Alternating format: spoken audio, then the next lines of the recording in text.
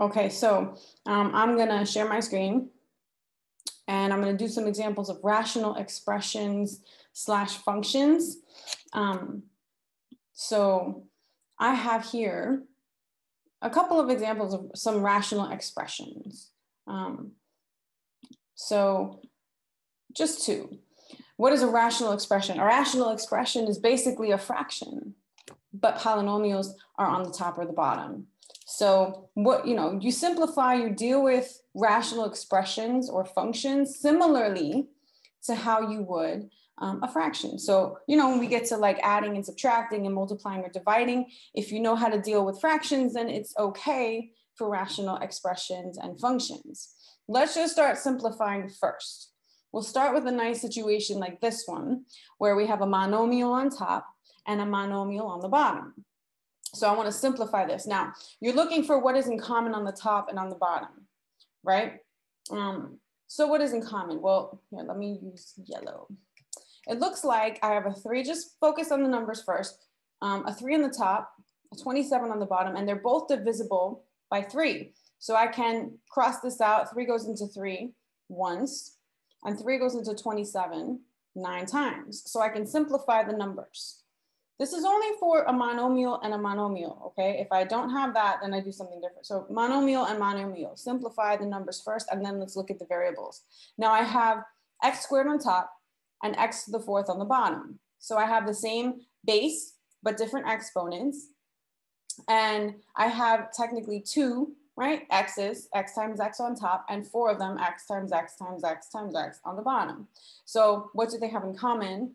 I can cancel out two of them. So when I cancel out two here, I'm left with basically, you know, nothing or one times one. And when I cancel out two of these, I'm left with an x squared.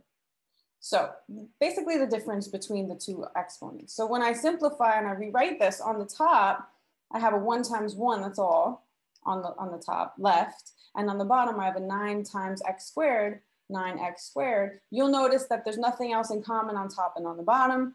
And this is my basic simplified rational expression for this case.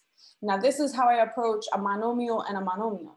You're not, you know, obviously you're not always gonna have that case because a rational expression could be any polynomial in the numerator and any polynomial in the denominator like this one. Here we go. I have a binomial on top and a trinomial on the bottom. So what you wanna do if you have a situation like this, I can't just cancel x squareds. You can only cancel things in the numerator and the denominator if there's multiplication in between. So there's subtraction, subtraction. I cannot, I am not allowed to cross these out. I have to factor first. Factor the numerator, factor the denominator. You're gonna need some, some good factoring skills for rational expressions, okay? So if you need to brush up on that, then go ahead and brush up on that because you're going to struggle here if you do not know your factoring skills or have your factoring skills down. In the numerator, I'm going to rewrite this factored.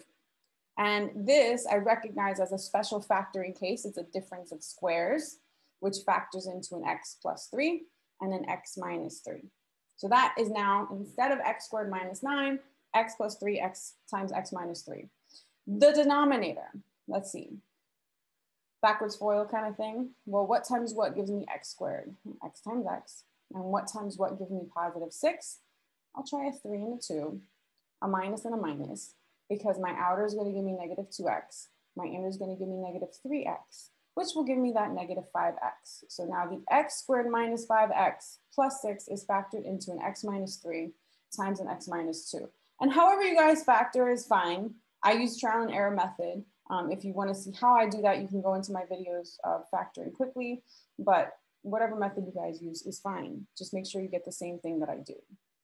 Now, um, I'll rewrite it before I simplify. I don't typically rewrite this, but um, x plus 3 times x minus 3 on top, and then x minus 3 times an x minus 2 on the bottom. And so now this is my factor form and I have product and product. I can only cancel things if I have multiplication in the numerator, multiplication in the denominator. And now I look for things that are in common. And it looks like I have an x minus three on the top and an x minus three on the bottom. And now they can go because of the product in between. And so the x minus minus threes, they cancel out. they're gone. And I'm left with on top, x plus three, and on the bottom, x minus two, which cannot be simplified anymore. Am I allowed to cancel these x's? No, because I have a plus and a minus. There's no product and product. So this is all I have left. And that is my final simplified rational expression from here. So if you have a monomial on top and a monomial on the bottom, then you could just, you know, cancel similar numbers or whatever, like we did here. But if you have a non-monomial, if you have a binomial, a trinomial, whatever you have in terms of a polynomial in the numerator and the denominator, you need to factor them first so that you have like factors that you can cancel on the top and on the bottom. So this is just simplifying rational expressions. Okay, so let's look at next. Um, we'll do addition and subtraction.